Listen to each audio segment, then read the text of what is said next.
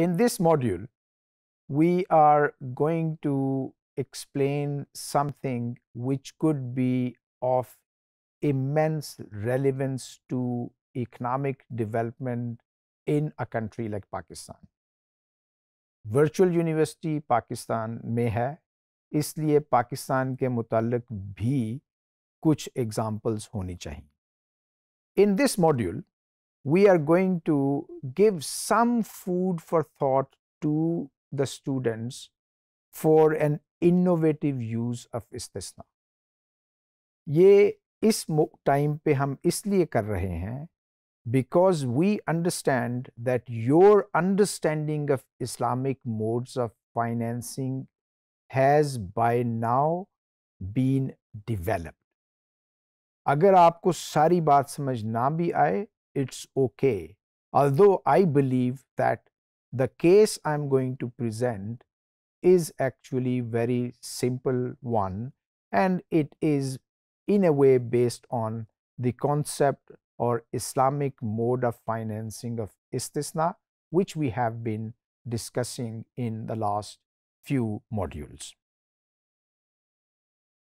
पाकिस्तान में गवादर पोर्ट और सी पैक की बातें हर जगह हो रही। तो Gwadar project is basically constructing a new city और ये पाकिस्तान में नहीं हो रहा। दुनिया में बहुत ज़्यादा मुल्कों में नए सिटीज़ डेवलप हो रहे हैं। तो पाकिस्तान ने भी गवादर के मुकाम पे एक नया सिटी डेवलप करने का प्लान बनाया हुआ है, जिसके ऊपर काम चल रहा है। हम ये देखेंगे कि इस्तना को यूज़ करते हुए क्या हम पाकिस्तान में एक नया सिटी बना सकते हैं? और अगर बना सकते हैं तो पैसे कहाँ से आएँगे? Now capital cost of constructing a city are quite huge I believe that in case of Pakistan, if we want to build a new state of the art city, it could cost about 50 billion. 50 billion dollars. और अगर generous exchange rate लगा लिया जाए दो सौ रुपये का, एक डॉलर तो that would be about ten trillion rupees दस खरब रुपए लगते हैं एक स्टेट ऑफ़ द आर्ट नया सिटी बनाने में उसके अंदर मकाना तो लोग बनाते रहेंगे उसका इंफ्रास्ट्रक्चर बनाने I just give you a reference if today someone would like to construct York City, it would cost in terms of capital cost 500 billion dollars to 2.5 trillion dollars. लेकिन वो तो फिर न्यूयॉर्क सिटी है। King Abdullah Economic City in Saudi Arabia is being built with a cost of 55 billion US dollars. There is another new city being built in Abu Dhabi for 20 billion तो पाकिस्तान में अगर 50 billion का estimate लगाया जाए which is about 10 trillion rupees it's not a bad assumption at all ये 10 खरब आएंगे कहाँ से हम तो कहते हैं जी, चाइना जब तक इन्वेस्ट ना करे, पाकिस्तान में पाकिस्तान तरक्की नहीं कर सकता, ये इंफ्रास्ट्रक्चर प्रोजेक्ट्स चल ही नहीं सकते, चल सकते हैं because this money could come from within Pakistan. If we use Islamic modes of financing in such a way that it touches the right emotions of the Muslims अगर 100 मिलियन लोग पाकिस्तान की आबादी 230 मिलियन। अगर 100 मिलियन लोग एक लाख रुपया over a period of ten years लगाएँ तो ये दस खरब रुपयों की कॉस्ट निकल आती है।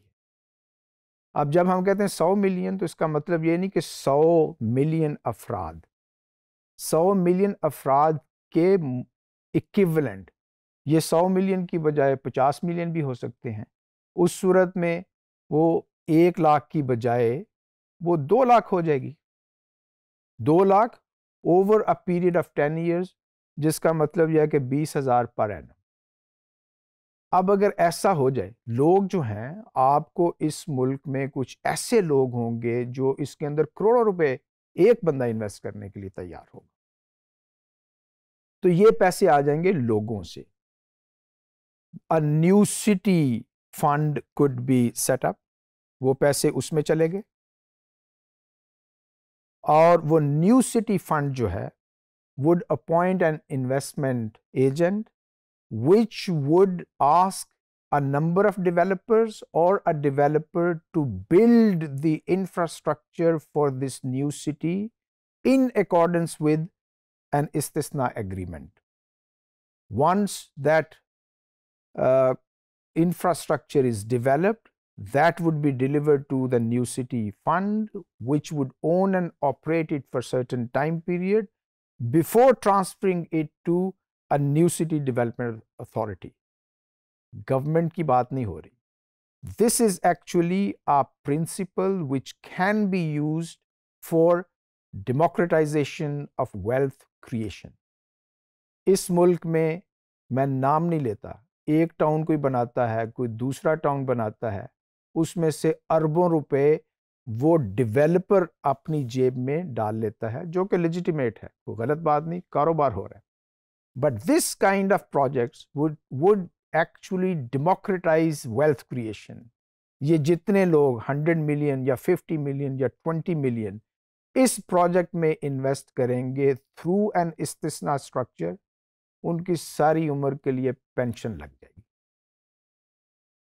This is a food for thought for you what I wanted to convey today was to let you think how Islamic modes of financing can be use in an innovative way to ensure that this country and other Muslim countries get developed on a sustainable basis.